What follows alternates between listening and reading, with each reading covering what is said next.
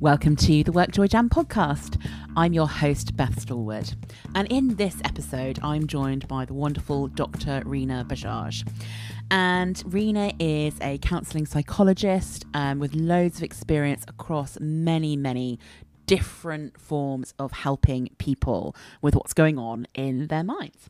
And what I particularly love about this conversation with Rina is how practical some of her suggestions are the things about how we understand what's going on in our heads, how we can understand the red flags and the green flags, and be able to have a more balanced perspective of some of the things that happen where maybe we're triggered, where we have some fear responses, where we don't know what to do, where we're trying to step out of our comfort zone.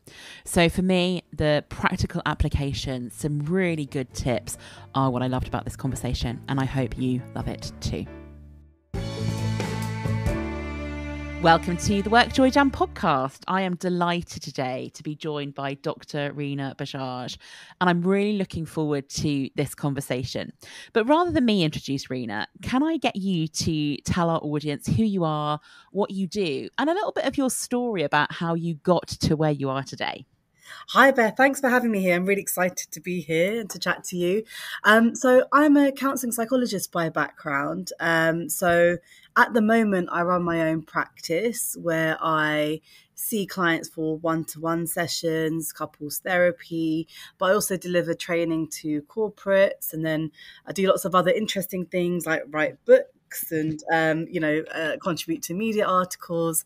But my journey has been really interesting and it probably links in with my philosophy to life really. Um, but i've sort of chopped and changed and um, i've worked within uh, community settings, so grassroots organisations, working a lot with BME communities, those affected by substance misuse and domestic abuse. Um, then I moved into working within the NHS and was working with vulnerable young people. Um, and then I moved into sort of the employment side of things. So working within the employment uh, employee assistance, kind of welfare to mm. work side of things. Um, one of my most interesting jobs, though, is probably a millionaire matchmaker, um, which sounds a little bit out there. um, but that was basically uh, working with kind of ultra high net worth people, uh, entrepreneurs, uh, but then also helping them to think about their approach to life, their values. Um, so it wasn't just matching people on the basis of love, but also helping them to think about some of the limiting beliefs that sometimes come up when you're on mm. that journey.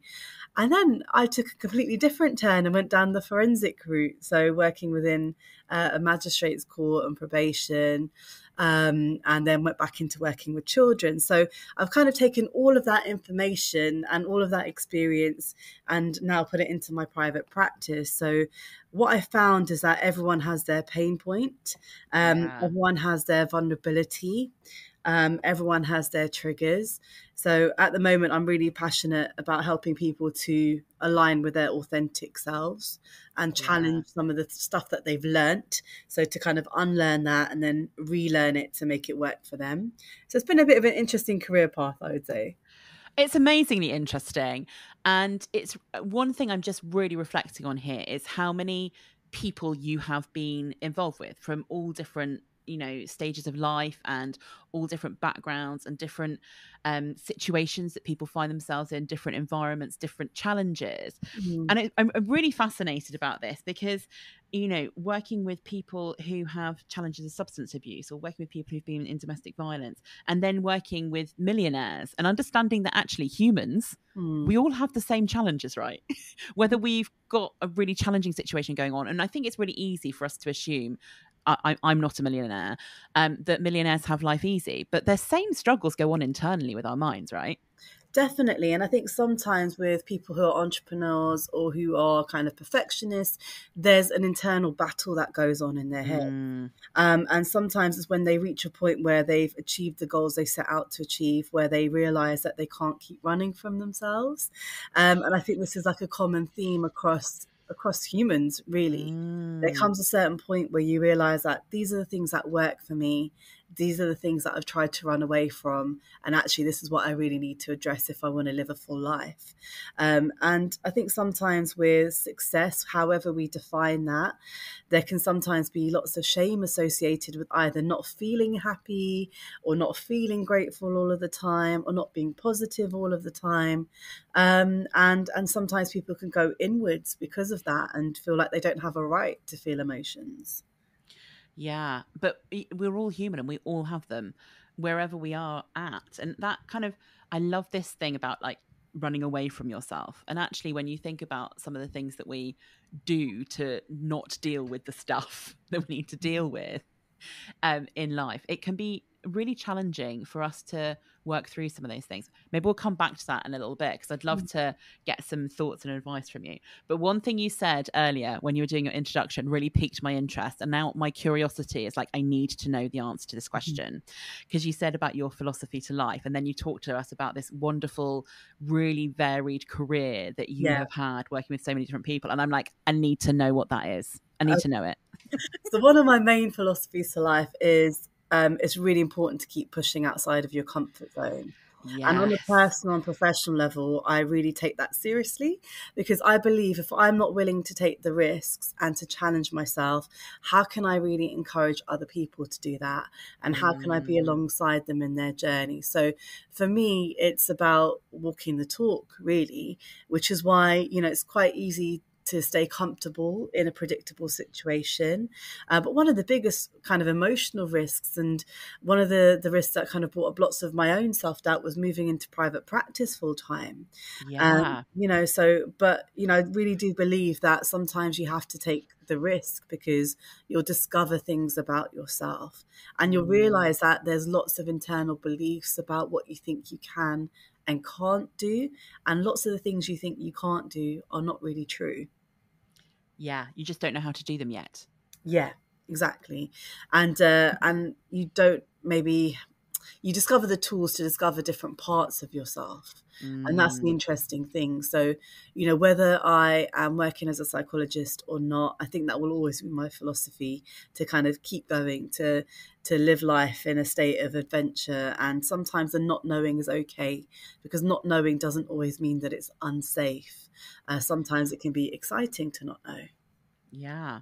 It's like the possibilities and the who knows and the excitement of something that might be a surprise coming to you. Yeah. Um, there are so many things I want to talk about here. So I'm going to kick off and talk about some of them if that's okay. And I the the idea of this pushing yourself out your comfort zone is one I fully support because growth doesn't happen in your comfort zone.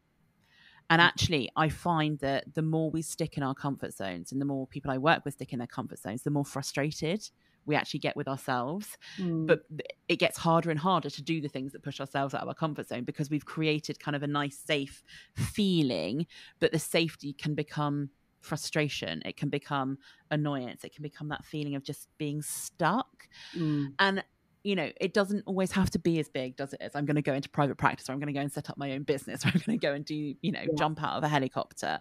Yeah. Pushing ourselves out of our comfort zone can be really small stuff that we do. Yeah, I agree. It might be kind of going to a new gym class. It might be taking, uh, going to learn a new language. It might be talking to someone in a coffee shop. It might even be kind of trying a new food or going on holiday. So it doesn't have to be kind of a massive thing. But what it does do is it's anything I think that connects you to yourself um, and encourages you to reflect in life. Because although we can stay in our comfort zone and we think it's safe. I think a lot of the time that's a false sense of security. What it is is predictable. Um, yeah. But what we essentially end up doing then is living in survival rather than thriving, which we can do for a little while. But then, as you mentioned there, Beth, your resentment can build up, the anger can build up, the frustration can build up uh, because there's less meaning and less purpose in life. Yeah and actually that thriving sense that being able to work through the challenge of whatever it is that you're stepping into. And you know i do think stepping out of your comfort zone often has that feeling of being slightly icky and slightly sticky and a bit scary. And in that process though that's the process where you learn the stuff that helps you to be the thing that you want to be mm. and so often I, I speak to people who say i'm just waiting for the confidence to be able to go and do that thing i really really want to do mm. and my challenge back to them and i'd be interested in hearing about this from a psychological like the, the how the brain works with this. But my my advice to them is always the confidence is gained in the doing, in the action, not in the waiting for the confidence to come to do the thing. Yeah. If we wait for the confidence, that's just procrastination. That's just avoidance.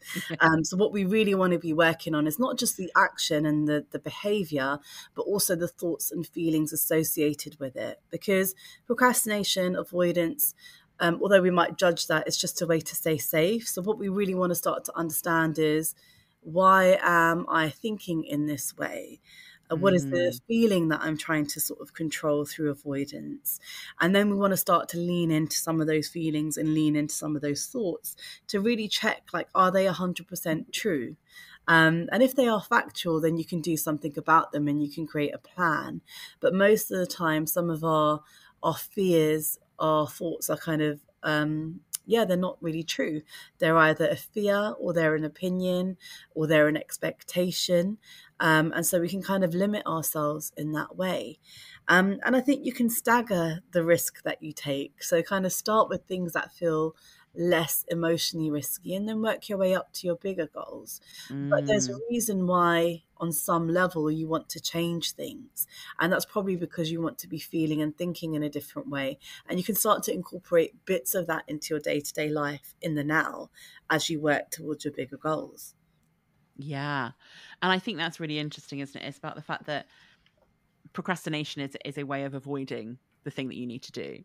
And it's a way of not having those feelings that you don't want to step into. Yeah. And so often that whole why am I thinking in this way? I know for certain I would spend ages thinking about that particular question and very little time because I don't like it. what Mm. is the feeling I'm trying to, you know, run away from or the feeling I want to have that I don't have yet? Yeah. So I think, and I, I think there, and I wonder if a lot of people do this, we get stuck in our heads with the thinking and totally ignore the fact that this is actually an emotional thing that we need to deal with and we need to work through the feeling to be able to do what we need to do. Yeah, and our thoughts are so powerful. You know, we have between 70,000 and 100,000 thoughts a day. Most of them are also unconscious. So they're probably similar thoughts that we had today, that we had yesterday, and the day before, and the day before. So even if you can't sit with the feeling, just tune into the thought, even just to check if it's true or not. You can start there, you know, and then you Mm, can start to get a picture of whether your mindset is skewed more towards negative thinking or fear based thinking rather than a more balanced way of thinking. And I, I, you know, I'm not kind of being patronizing here and saying to people, just flip a negative to a positive. yeah, no, don't always work like that. to do. Um, but you know, I think at least if you evaluate it and you zoom out from your thoughts, so you just start to balance the thought out. So Yeah. you know, if I'm making a change, it might be scary, but I'm doing the best that I can. And that might be a balanced thought. Or it feels really scary, but I don't have to do everything right now. That might be another Yeah. balanced thought. Not, you know, don't be so silly, it's it's fine, I'm gonna be fine. You know, that might not be as helpful. So you just want to start to balance your thought and you can be the most positive person in life but also your thoughts might be skewed more towards um, fear-based thinking Yeah. It's really interesting you talk about this whole, you know, I'm doing the best I can. And like it's it's not saying it's not doing the whole I'll just put like a smiley face on it and say everything's fine because that isn't actually helpful, is it? It's saying, do you know what? I do feel a bit scared about this or this situation makes me feel really uncomfortable or what's going on at work right now, I don't know how to deal with it Mm. but I'm gonna do something about it. I'm doing the best I can. Maybe it's also a I'm gonna go and get some people to help me with this because I don't have to do it alone. There Mm. are so many things that we could do that are what would I call them? You probably have some proper psychological term for it, but I'd call them like small action based progress steps, is what I would call them. I suppose what you're developing is probably more adaptive coping mechanisms There you go. I knew you'd have something proper to call it. and something kind of more more real, right? Um, and I think sometimes we have to adapt our coping mechanisms. Like if we look, uh, if we look at the whole COVID situation, for example, you know, maybe we had coping, coping mechanisms before that, and then we couldn't do the things that we normally did, and then we had Mm, to adapt. So um, we, I think we need to constantly be checking in with ourselves because we are fluid and we are constantly changing. And it might be we change due to situations around us or a specific incident, for example, at work, or it might be that we're just internally changing as we discover who we are. Um, so that kind of chance to reflect is really important. Yeah, and I think as well, I, I talk about this quite a lot in the work joy side of things, is that the gloomy moments, the stuff that feels uncomfortable, maybe that fear based thinking, whatever it is, the negativity stuff, always. I mean, obviously, there are examples where there is genuine fear and there are reasons to be scared. Yeah. But uh, for quite a lot of the stuff I think that happens in the working context, let's take it at work, quite a lot of that stuff we end up blowing out of proportion. So the negative stuff has a greater impact on us, mm. even if it is smaller in reality than the kind of positive things that happened in a day. So if you have, I don't know if you ever do this, but if you had one tough conversation with somebody during the day, you might ruminate on that for the rest of the day mm. and ignore the fact that you've had seven amazing conversations with brilliant people because the, the, the negative stuff just really sticks in our minds. Yeah, we start to filter out the positive. So that's a little bit of black and white thinking. It's either this mm. or that. But also when we're in our thoughts, it's very easy to start catastrophizing and go to like yeah. the worst case scenario. But if you find yourself doing that, even if you're in the worst case scenario, what what could you do there? What's in your control? And a lot of the time that might be your attitude, it might be your behavior, it might be seeking support, um, it might be taking time out to ground yourself. There will still be things that are in your control in terms of how you respond, um, and and that's why the zooming out and the checking in with your thoughts is is quite important because um, one client once described it to me. It's a bit like a soup in your head that you can then get stuck into, which I yeah. thought was a really good analogy. So you want to just start sorting it out. And one of the things that you said there, Beth, I think is really important as a as a technique is to start to balance out some of the challenges with some of the positives or some of the strengths that you have in order to be able to manage those uh, those challenges. So when we are in an anxious state or we're stressed or we're in that fight or flight or we're on edge the way that our brain's programmed is where we're programmed to look for all the red flags and all the dangers. Yeah. And, you know, at that point in time, our brain can't tell the difference between an emotional threat and a real threat or a perceived threat or a physical danger because our brain's not that sophisticated in some to some extent. So, you know, where you're looking out for all the red flags, you might be more sensitive to things. So the just that kind of um, activity of balancing out with some of the positive things or some of the good things or things that went well or something that you've learned that day. So building in some reflection helps you to move out of that reactive state. Um, and that will just help to calm your body down, uh, help you to have more objectivity and to be more present in the moment. Yeah. And I, I think that's so important, isn't it? That bit around being able to calm that sense down. And when mm. we get that feeling on the inside that makes us feel like sometimes, I don't know, sometimes physically sick, it kind mm. of gets to that uh, point of, you know, really not liking that situation. Mm. Being able to know, even just knowing that something has red flagged in your mind, kind of yeah. blaming it, going, do you know what? I've totally red flagged that my body and is reacting in a way that is out of proportion. And even just knowing that, I think can help.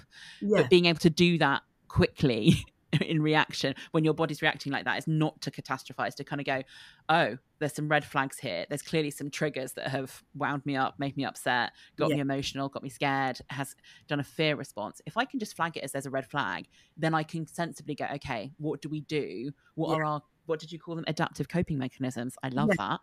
Um, what are those things that i have? Do i need to go and have a conversation with somebody so they can give me a reality check? Do i need to just go and take 10 minutes and go for a walk around the block and calm my nervous system down? Yeah. There must be loads of things that we can do in that moment if we can recognize what it is to help go okay let's get some reality back in this situation yeah, the first thing maybe is to like pay attention to your body. So mm. you know, mm. um, there's a traffic light tool where I think it's quite useful to reflect on. Maybe at a time where you're calmer, like if you are in your kind of green functioning, which is an optimal functioning, how will you be thinking, feeling? What would you be doing? And that also includes how will your body be feeling how do you then know if you're going into amber or red and what will help to bring you back down to either amber or to green um, and if you can kind of just think that through, then particularly if like a workspace is triggering or there's a, a family member that's triggering or you're going into a situation which might amp up um, that stress response, then you've already got a bit of a plan You're more in control. Yeah. Um, so I think, yeah, just having a think about, you know, uh, what could I use? What's in my toolkit that I can use, which doesn't necessarily need to take lots of time because I think sometimes the misconception is that grounding techniques or relaxation techniques take a long time, or you need an hour, or you need to kind of be in a real state of Zen, or it's a spa day. It's great to build all that stuff in if you can, but sometimes you need something in that moment just to come Yeah. back to the here and now. Yeah. And those things will be different for everybody, right? I really love that. And it's an old wives' tale, isn't it? Just take a few deep breaths. But there's something really powerful about, you know, three deep breaths will actually help you press pause on some of that crazy. For me, doing things like having a bit of a sing song, dancing around my office, going for a walk, because something that kind of physically shakes it out Yeah. is usually a good thing for me. So Yeah. there's something about using my body and kind of reminding my body that everything's safe because you don't, I always think you don't sing and dance if you're really unhappy.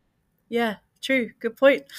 Really, You just really- don't. Like you don't dance when you're moody. You just don't. But when you're in that kind of my green zone would be dancing around the kitchen, singing along to something on Spotify, having a good time. And if I think, okay, I can force my body to do that and it reminds my brain that everything's okay because when we're dancing, we're happy. Yeah, or at least you're safe in the now. You know, Yeah. that's important as well. And then you can tackle what you need to tackle. So yeah, even little things like I think taking a breath is really, really useful. Um, there's loads of different breathing techniques. Square breathing's really great, where you breathe in, you hold, you breathe out, and you hold. Yeah. You have to think about the way that you breathe. One that I love is color spotting. So you can do this anywhere. You can just pick any color you like, look around the space that you're in, and notice everything that has that color in it. And what you'll start to do is notice the big things and hone in on really small details. Um, and that just brings you back to this current moment. So it's a mindfulness based technique because often what happens when we're worrying or when we're stressed is we're either worrying about the past or we're worrying about the things that might happen or could happen. And we're not really present in this moment. Um, so you can use something like color spotting or even the five senses exercise where you come back to each of your senses just to orientate yourself back into your space.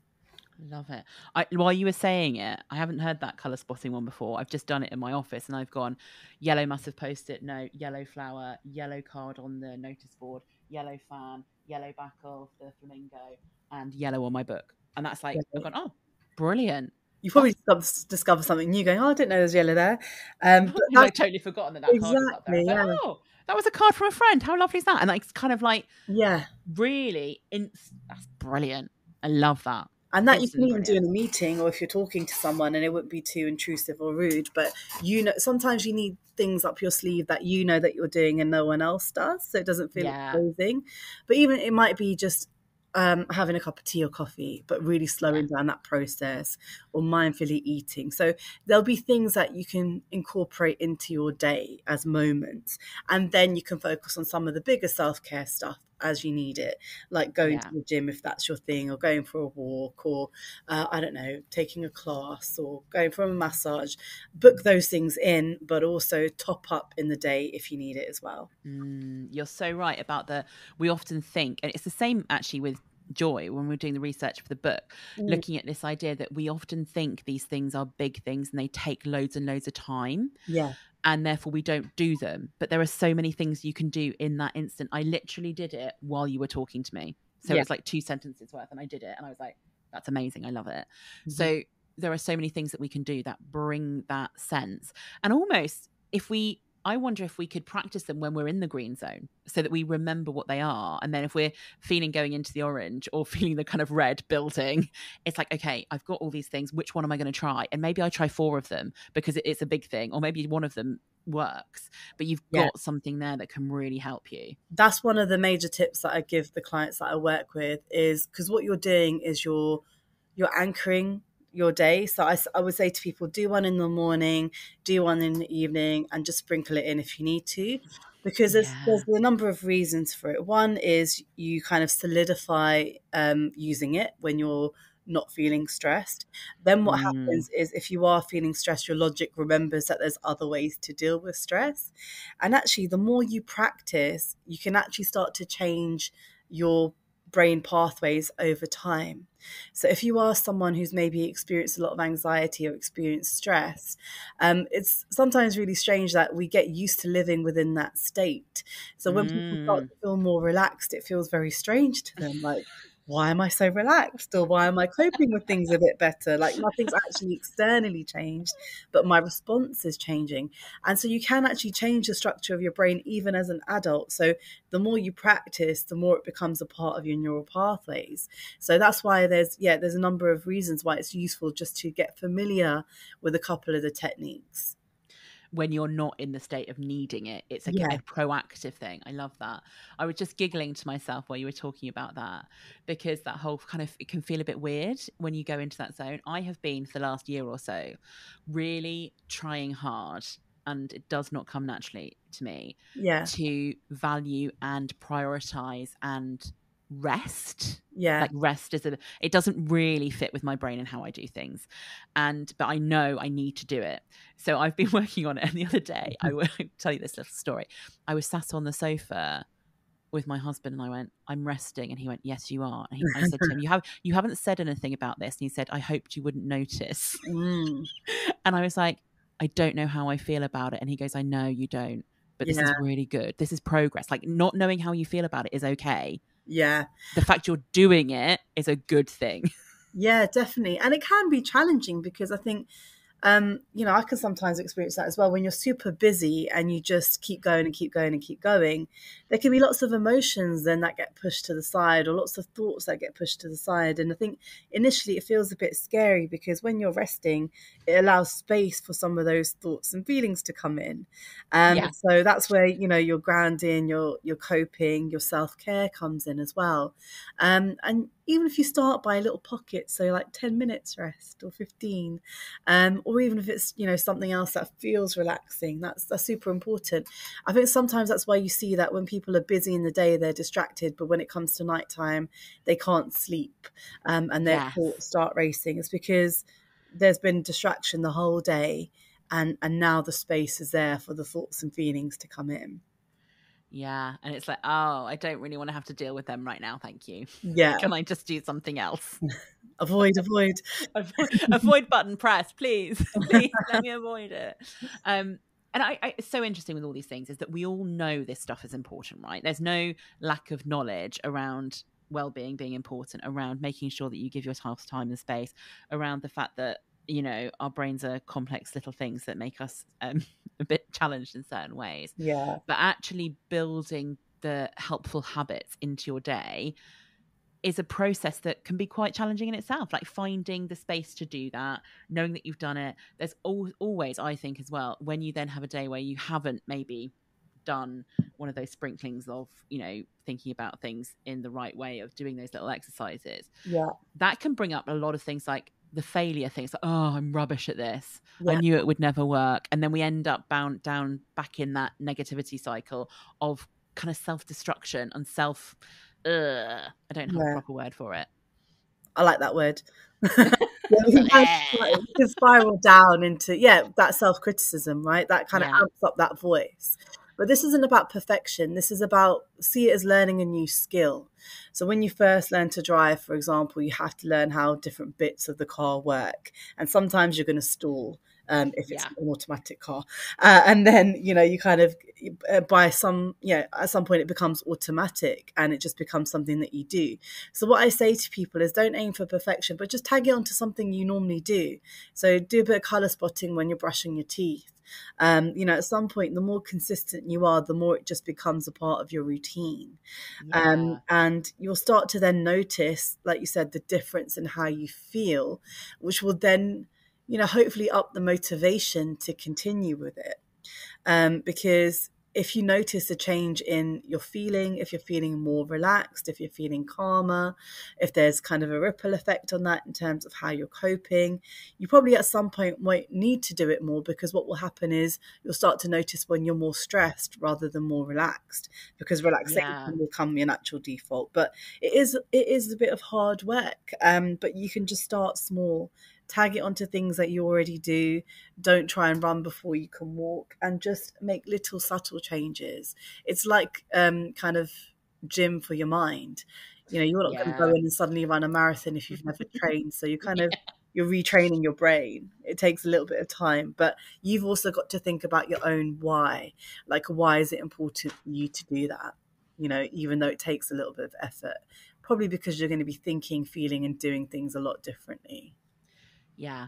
And, you know, working through that change process is always going to be a bit icky and sticky and habit stacking the stuff onto the things that you already do mm-hmm. and deciding that it's important to you. So you have that why and you know the reason why you're trying to do it.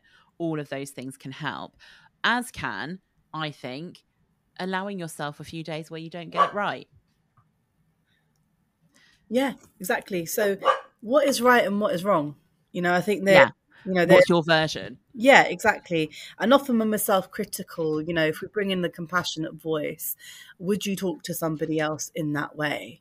And sometimes when we tune into what we actually say to ourselves or we say it out loud, it's a little bit scary. Like we'd never probably talk to anybody else in that way, but we just kind of take that critical voice as being factual. So even if you kind of tune into it, just just think about, you know, is this something I would say to someone else? And if it's probably not, then you probably want to reframe how you're talking to yourself as well. Yeah, and I it's really interesting this point, and I'm just gonna I'm I haven't quite got the answer that I'm looking for. But I'm gonna around it. Is I think sometimes we bully ourselves Mm. because that's the kind of you know the kind of things we say to ourselves. I would absolutely not say to any of my friends or coworkers. Just wouldn't ever dream of being that harsh on people. But Mm. internally, we can be quite self-destructive. Mm. Yeah, and I think there's probably a number of reasons for that. Um, you know, it might be linked to what we've seen and how we've seen other people respond to themselves. So, kind of growing up, it might be based on our beliefs and values about ourselves. So, whether we Mm. think we're worthy and deserving, um, or whether we have to work extra hard to be worth something. So, I check in on kind of worthiness and value, like on an unconscious Mm. level. Um, but also, it might be in a in a kind of weird way. Uh, one of the questions I ask is sort of, what is that voice trying to do for you? Yeah. Sometimes it's protection, sometimes it's motivation, sometimes it's about helping you to achieve your full potential. So there's a there's a purpose to that voice. Sometimes it's staying safe, sometimes it's, you know, I'll be critical to myself so that I'm not sensitive to someone else's rejection or criticism. Yeah. And I want to figure out like what is the purpose of this voice? And is there a way that I can get the same needs met but in a healthier way? Yeah. Really, really fascinating that and uh, kind of really understanding what it's trying to tell you. Mm. Like what's the what's the thing it's actually trying to get you to do or think about or make happen. And kind of going a, oh actually that's really helpful. If I know that now I can do something about that. Or a actually, you want to keep me safe, but I want to grow. So we're gonna have to have a conversation about Yeah. how we how we work together, my brain and myself. Yeah, and if you've got your inner critic, you probably want your inner cheerle- cheerleader as well. So Yeah. that's the voice then you can work on developing. And that doesn't mean that voice is always going to say like, "Don't worry about it, you're right all the time," because there's something important about accountability. Um, but you can take accountability and not be kind of self-deprecating and horrible to yourself. Absolutely.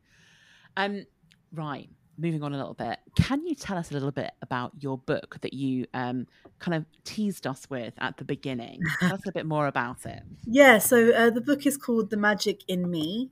Um, it's a 30 day self empowerment book and it's focused on relationships, but the relationship with ourselves. Um, so I use a lot of my therapeutic tools that I'd use in therapy with people. And the goal of the book really is to encourage people to build in some of that self reflection, to start to get to know who they are, to think about their internal world. So things like their inner thoughts, how they start to challenge that, how they regulate themselves, but then also think about your external relationships. And I think we're constantly told who we should be, um, how we should act, what we should be doing in life. And I think hopefully this book just creates a little bit of a pause moment for you to reflect on what it is that you really want and uh, your values and your goals. So every day there's a different activity to do, which will last about five to 10 minutes. So it's a little bit of a commitment. Um, but if you're thinking about your self development journey, Mm. nice starting point. Um, and maybe that is a part of your self care to invest those 10 or 15 minutes in yourself. And then there's also a journaling section every day if you want to use that, which will give you an insight into your emotions, your mood, and how you can develop healthier coping mechanisms. So it's really about the reconnection to yourself. Sounds great. And I love the idea of like five to 10 minutes a day for 30 days. It is a bit of a commitment, but it's also not a major, you have to have five hours a day on this. Like Yeah. 10 minutes a day for 30 days is totally achievable. Yeah, and the book's divided into three segments. So your inner world, your outer world, and your authentic self. So you can also use a book more fluidly and just randomly dip into it. But also, I would ask people to reflect on, you know, if you can't give yourself 10 minutes a day, what does that actually say about your value and your worth? And Mm, how you're kind of putting your needs um, on the map or not. yeah. Um, so even if you start with, you know, one activity a week and then kind of build in a few more, um, this is about kind of, you know, challenging some of those beliefs around what you can and can't do. Because you could probably sit on Instagram or any other social media platforms for for 10 minutes quite easily scrolling. Oh, for sure. Yeah. 10 minutes more than that i Yeah. reckon and actually I, I did the maths um, as part of a session i did on kind of how we can build learning into our day so Mm. the maths on 10 minutes a day over a year if you only did it on your actual working day so it doesn't count weekends or the kind of couple of days you don't work during the Yeah. week and it doesn't count the kind of four weeks holiday that you would have etc um over a year if you did 10 minutes a day it's um almost it's between five and six working days in total per year.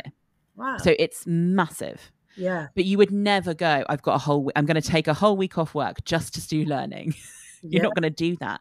But 10 minutes a day can achieve that for you over a year. Yeah. Well, that's amazing. Yeah. Yeah. And it's a, So, a kind of tangible way to do that. And I think it's more than just time, it's kind of the value that it gives to you. So if Mm, you are in alignment with who you are, if you're kind of living authentically, if you're calmer, if you're more relaxed, there's going to be benefits to your working environment, to your relationships, to you know how you see yourself, your capabilities. So that is there's kind of much wider reaching um, you know value to spending that 10 minutes a day on yourself. yeah. It's not just the thing you're doing, it's the bigger picture stuff and Mhm. how it influences everything that you think about and do and how you feel about yourself almost because you're suddenly giving yourself the value of paying attention. Definitely. And you know, I know that um, one of the reasons I wanted to write it is to make some of the like psychological and um, therapeutic tools available because I know that you know a lot of people might not enter therapy for a number of reasons or they might be on a waiting list um, or just the thought of leaning into your thoughts and emotions can feel quite scary Mm, so this gives you the potential to do that in kind of a very bite-sized way to gain that confidence. But it can also work really well alongside therapy if you are engaged in that, or yeah. you know, you finish therapy and just want something to kind of continue with. That's also another way that you can use it. Yeah, great. Sounds amazing. I'm very much looking forward to reading it. Um, right, I'm going to move us on to some quick fire questions. Right. Are you ready? I am ready as I'll ever be. First question is for you personally, what is always guaranteed to bring you some work joy? So I love what I do in terms of you know working with with people, but I think what helps me stay passionate is actually it might feel a bit boring, but boundaries and Mm. balance. You know, um, that's something I've really had to work on. So I'm quite boundaried with sort of my time. I don't work on weekends because I need that personal time, um, and so I think balance is one of the key things that keeps me in the flow of what I'm doing and keeps me Mm. creative. Yeah, I love those two things. And actually, we often talk about boundaries, but thinking them as the thing that brings you joy, I think, is a really good way of considering them. So often people are like, oh, I need to put some new boundaries in. I'm like, well, hang on a minute. Let's focus on what the boundaries give you in Yeah. terms of that opportunity. Yeah. I'm like you. I uh, for the last few years, I've really focused on not working on the weekend, and it's made such a difference to my brain space and to my level of being really in it when I'm on it Yeah. and then being able to step away from it as well. Love it. Question two What book are you currently reading? So I'm reading kind of a book which is probably a little bit out there, but it's called Think and Grow Rich. Um, oh yeah. Not necessarily because I want to be really rich, but um, just in terms of like understanding kind of the brain. I like to think outside of psychology sometimes, um, just to kind of get different people's perspective Mm. on on the brain and how we make sense of the world. And I guess I'm also interested in kind of different philosophies like I don't know, the law of attraction, but does that then mirror kind of thought challenging? So, you know, sometimes I feel like we say similar things in lots of different ways, uh, but people Yeah. will attune to the language that resonates with them. So it's not a psychology related book as such, but yeah, I like to just kind of be influenced and think about how other people think about life. Love it. Uh, question three. What is one piece of advice or guidance that somebody has given you in your lifetime that you always find yourself coming back to? I think it is um, kind of all we have is this moment. Um, so a lot of the time we can let fear drive us, or we get stuck in the past, or we get stuck in what could happen in the future. And I think just coming back to this present moment, I try and do that. If I find myself spiraling or I'm feeling overwhelmed, I try and consciously come back to like, what do I actually know in the now? What can I Yeah. actually do in the now? Where am I being self critical in the now? So, you know, I think we can make a lot of assumptions around life as well and and how much time we do or don't have. Um, so I think there's something really important about remembering to not take things for granted. Yeah, that's great. It's also really lovely to hear. And I know this will sound funny, but I'm going to say it anyway. When you say things like, when I'm spiraling or feeling overwhelmed, it's massively reassuring to me that even somebody who has all these tools and techniques and understands the brain and has spent many, many years working with people to do this, that you still actually have those human feelings. A hundred percent. And I think, you know, it's it's really important to be in touch with that. So there's no shame in kind of naming that. Actually, it's empowering because you can say, okay, Mm, I understand what's going on here. Um, you know, and I always say this to clients, although I have expertise, the real expert on your life is yourself. yeah. You know, I'm not here to come in and fix things for you. Let's think about coping rather than cure. Let's think about reflection rather than reaction. And I think we're all a work in progress, and that's okay to acknowledge. Yeah. It- It's it yeah, it's great to hear that because the so often I think, especially if you look at things like social media, people look like they've got it all nailed. Like we've got this life thing nailed. It's like actually the reality behind the scenes. It's so nice to have that. Do you know what? You are there, and I love this idea as a therapist that you're there to help people do the stuff that they want to do, but it's up to them, and they're the one who knows themselves well enough, and you're just helping them to kind of see through the dirty window and kind of work out what's really going on for them and Yeah. think that's such a lovely way of thinking about it. Right, question four. Mm. Um, what is one super practical, easy to do thing that you think people could go and do today, tomorrow, the next day that would help them get a bit more joy in their working lives? Yeah, so I think, you know, what we spoke about in terms of habit stacking, so something grounding at the beginning and the end of the day, I think that's really useful in terms of um, shifting your life philosophy. But also for me, I, I mean, I'm happy to share like my my personal routine. I start my day with kind of gratitude because I think where the tendency is to kind of look at the red flags, um, I have a morning routine where I wake up and I start to focus on some of the green flags. So what are two Yeah. or three things that I'm grateful for? Um, and sometimes that's internal, sometimes it's external. And on the hard days, that's a little bit harder, but it's still really important to try and find at least one green flag. Um, and so I actually tend to do that at the beginning and the end of the day. I build in just about five minutes of reflective time. And that really helped Yeah. me just to feel a bit more settled. I love that. And I, those hard days, and I, I, I, the power of gratitude is well known. Like, there's so much research on how it makes you happier having it. Mm. So I'm like, totally makes sense to me. It's just that little moment in time, isn't it? I had somebody on, I think it was season two of the podcast, and I really like what he said here, which is on those hard days when you're going, oh, I can't think of anything that I'm grateful for. He says to try, and I really like this. What is it you could be grateful for? Oh, so yeah. don't put the pressure on what are you grateful for, but what could you be? And just to kind of allow yourself on those bad days to go a little bit further and kind of go, oh, actually, I could be grateful for that. Maybe I don't feel it, but maybe I could be. Yeah, I love that. That's really that's a really good thing, and I think it just helps with that balancing of the brain as well. Yeah. Um, and even if it's been a challenging day, you can even reflect on sort of what are the strengths that you brought to that scenario. Yeah. Um, or how did you manage? Um, and that might also help you with the plan. I had somebody the other day, and I'd had a bit of a, a week of not work wise, but life wise. You know, when like life admin just kind of gets up on you, and there's so many different things you've got to do and appointments you've got to go to and things going wrong and having like work people at my house for the broadband and something else that had gone. It was just like a week of it. Yeah. And somebody said, What are you grateful for this week? And I said, I'm grateful I survived it.